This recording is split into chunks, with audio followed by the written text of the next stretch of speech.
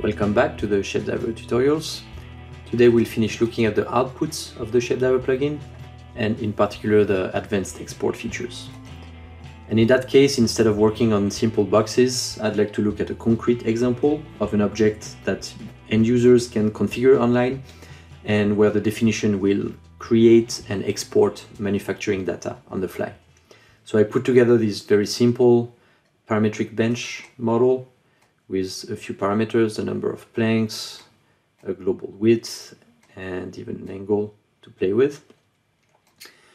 And I only use standard components, except for uh, the very last one, which is a Shapediver display geometry component uh, that will display the actual object. But of course, now what we need is to extract the relevant um, geometry and data uh, so that we can manufacture the object. So in our case, the steps are going to be the following. We're going to extract the profile curves of all the individual wooden pieces here. We're going to unroll them. Then we're going to nest them on wooden sheets and then use the export components of the Shapediver plugin to actually export them to a DXF file. And we'll um, uh, attach some properties to the exported geometry so that we can export different curves on different uh, layers of the document and also use different colors. So we look at all these properties. So the first step is to extract those profiled curves. And we'll keep it simple and say that the, the way this bench works is that the ribs have slots in them and the planks just like come and fit in the ribs, but without any cuts on, on the planks. So I was a bit lazy when I modeled this and you know I, I modeled just like the plain um, plain parts. So now I need to extract the, the curves with slots in them, the, the rib curves. And there are several ways to go about and do that. The first um, uh, naive way to do it would be to do a solid difference here. So look at the rib and subtract the planks from it and if I do that, I will end up with um, with a plank with the slots, and then I can uh, extract an edge from from this BREP, and I'll have my profile curve. But as you saw, the the Boolean difference is never a good idea if we are looking for performance. It took seven seconds in this case, so there's more efficient way to do this. So what I'll do instead in this case is to uh, work directly on the construction curve of uh, the rib and I'll do uh, a region difference on the curve. So the idea is that I want to remove from the rib the, the sections of the planks that are in the plane uh, of the rib. So here I need to intersect, so uh, right plane intersection here. I'm gonna intersect the planks with the, um, that's a XZ plane. And here I have my intersections and I can remove that from the region defined by the by the rib. And here we have a much faster way to, to get the profile curve. So now I'll just finish by unrolling it on the XY plane. In this case, I can just rotate it. Uh, that's a YZ around the YZ plane. And here it is in the XY plane and I can duplicate it because we have two, uh, two ribs. Here, two and that's it. We have our two unrolled rib curves in the XY plane. I'll just hide all of this. And now the second step is to get the, the profile for the planks. And in that case, uh, it's easier. I'll just use the construction, construction lines of each plank. And I have yeah, the plank width here. So I can just create a rectangle using well the lengths curve lengths of those in wide in one direction and width in the other direction So the width is the same for all planks. Flattening here. And here I have uh, all the rectangles um, that I need. So that's the unrolled profile curves for the planks. So now I have all of my unrolled curves and I can proceed to nest them. So for nesting, Shapediver supports the OpenNest plugin. It's a simple one component plugin uh, that does the complete nesting. So the two mandatory inputs are the curves we want to nest. So in our case, the ribs and the planks. And here you'll see that I modeled uh, in a unit uh, square. So basically everything is contained in a one, uh, one to one square. So if I want to define the sheet where to nest, um, I can pick a scale that makes sense. And define rectangular sheets. So one over two, for example and use this sheet for nesting. So here I have my sheet and my geometry and I need also to define uh, a spacing that makes sense. So I'm in a one to one square, so let's say 0 0.1 distance between the curves. And now I have nesting. So 0 0.1 is actually pretty wide. If I do 0 0.01, uh, wait, that's placement spacing 0 0.01 all right. So here I can even nest all my curves in one sheet but let's say if I have smaller sheet than this 0 0.6 1.4 1.5 here I'm using two sheets. So as an as outputs of this component I get uh, the geometry nested geometry and the number of sheets that are used for nesting, and also the transformations uh, that all of the curves have uh, followed to, to fit in the nested uh, sheet. So now the last step is to export those nested curves to a DXF file. And for the sake of the example, let's say I want to export the, the rectangle sheet on one layer and then all the nested curves on the on another layer, but with different colors for the ribs and for the planks. So here I have my output curves and what I need is to split them again according to the the ribs and the planks. So I have two ribs. Okay, so now I have um, two different lists, one for the ribs and one for the planks. And the last category of curves I want to export is the sheet. Okay, so now I have everything. so in order to export and uh, set properties, attach properties to all those curves, I'm going to use the properties export and set properties components of the Shapediver plugin. So the properties export is uh, the component where you can build a properties object and then you can use the set properties component to attach those properties to the to the geometry.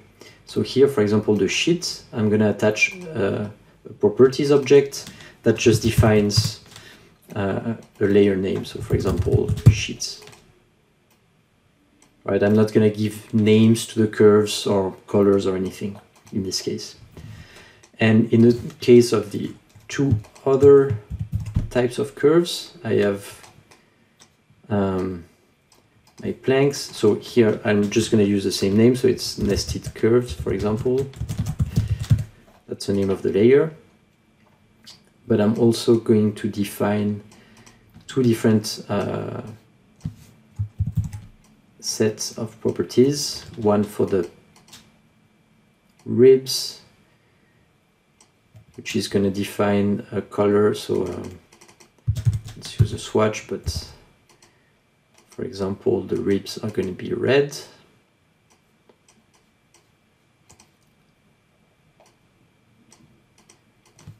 and the planks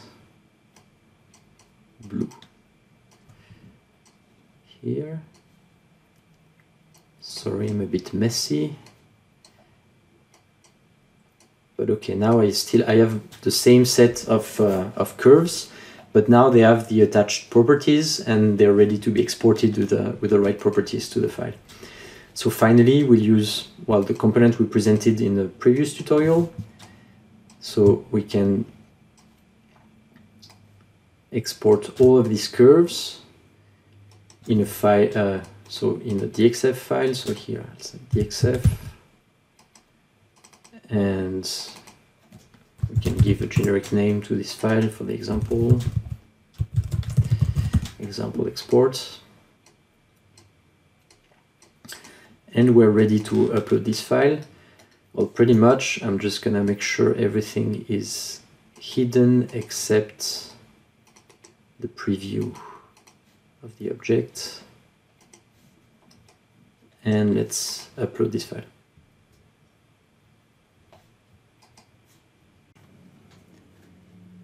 So as expected, here we get our bench. I assigned a, a, wood material to it and the parameters we defined in the model and the export uh, button. So I'm gonna uh, proceed with the export just to show that we end up with a DXF file with the correct um, correct data we attached to it. So here, if I open it in Rhino, I find my sheets and my curves. And if I look at the object properties, I do have um, the, the sheets on one layer, the curves on another layer, and with two different colors assigned to them.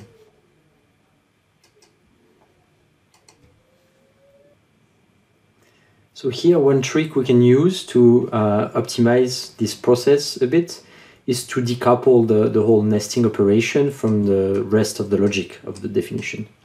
So here the issue is that um, the nesting happens all the time. So if I change any parameter, the nesting will recompute. In this case, it's not um, too long because there's not that many curves, but it can easily start taking uh, minutes uh, to, to happen. So the idea here is to add a toggle, for example, that will filter um, some of the inputs of the nesting so that it only happens if we want it to happen. So here, for example, if I don't do the region difference, um, the rest of the definition will, will not uh, be executed. So now I can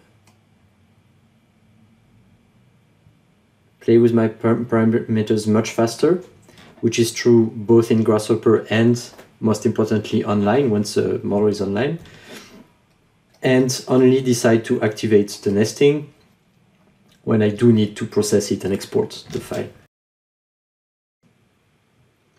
And the last topic I wanted to discuss today is another component from the outputs category called export email. So this component is useful if you don't want users online to be able to directly download the exported files, but you would rather that it triggers an email that you get and then can process the file. And so the email that will be sent will contain the, uh, the exported file as an attachment and uh, other information that you can define in this component. So it works very similarly than the normal export download component. So you can input the geometry that needs to be exported, uh, define a file format, file name, example 2. And on top of those uh, parameters, you can also define the contents of the email. So first, obviously, the which email address should be sent to send the email. So in this case, I will send myself an email. If you did not know my email address, now you do. And then I can define the subject and the body of the email. So here a file has been exported. That's going to be the subject of the email.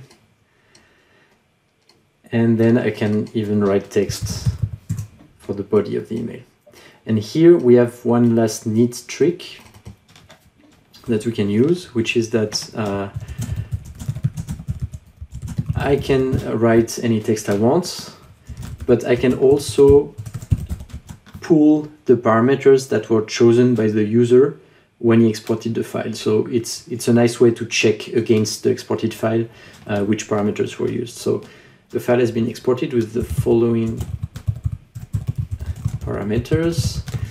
And in order to list the, the values of each parameter that were used, I use this macro params. And that's gonna uh, uh, send the email with the right information. So now my email is uh, completely defined. I can upload this file on Shapediver. And we can see the uploaded file with our additional changes.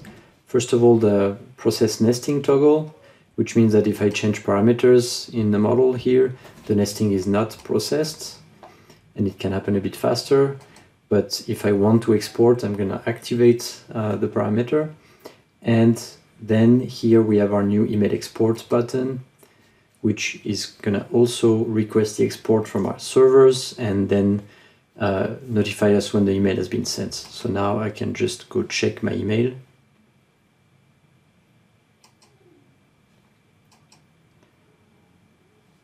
And I do see the email with the contents I defined in Grasshopper and the list of parameters that were used for the export, as well as obviously the, the link to download the, the exported DXF file that's it for today. Thank you for listening once again. Um, if you like those videos and you want to see more, you can like the video and share it uh, on social media.